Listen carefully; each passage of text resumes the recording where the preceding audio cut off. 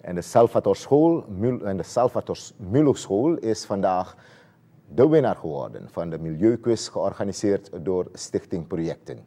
Ze deed dat in opdracht van Stichting Milieuwatch. Op de tweede plaats eindigde de Parvati School. De deelnemende scholen werden elk vertegenwoordigd door drie leerlingen. De winnende school kreeg een bokaal of trofee en de leerlingen elk een gouden medaille. De, vertegenwoordiger van, de vertegenwoordigers van de Parvati School kregen een zilveren medaille. Alle winnaars kregen een exemplaar van het boekje Biodiversiteit van Jetty Polanen. Zowel de jury als de organisatie was onder de indruk van het kennisniveau van de deelnemende leerlingen. Stichting Milieuwatch meent dat kennis de eerste stap is om te komen tot bewustwording en gedragsverandering. De Milieuquiz voor eh, VOJ-scholieren, dat gehouden is in de KKF Beurshal, moet in dat kader worden gezien.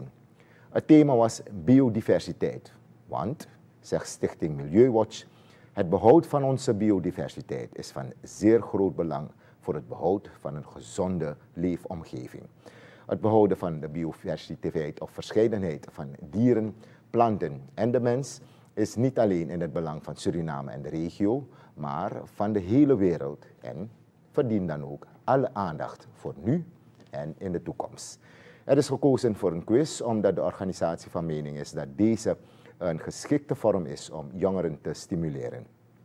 Een quiz is een bepaalde vorm van spelen waarbij het voornamelijk gaat om kennis en het goed nadenken over een bepaald onderwerp. In dit geval wordt eh, onze biodiversiteit bespreekbaar en toegankelijk gemaakt voor de jongeren.